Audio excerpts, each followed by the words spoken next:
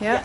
going. Okay, Martin, what is your Devon memory? Well, my abiding memory is the year that the county showground got washed out. So we were still on the tent as the rain belted down, and all we did was provide shelter for people, including um, a couple of mums coming in the back of the tent to breastfeed their kids. By the middle of the afternoon, it was clear that nothing was happening, and the stewards were coming around telling us that the show was going to close. So we went to the beer tent for the remainder of the afternoon, and then about seven o'clock we packed up.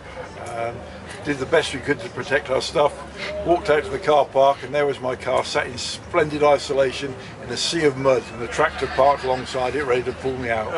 Fortunately, I managed to slither down the field uh, and got out. And uh, so every every warm day at the county show is a bonus after that.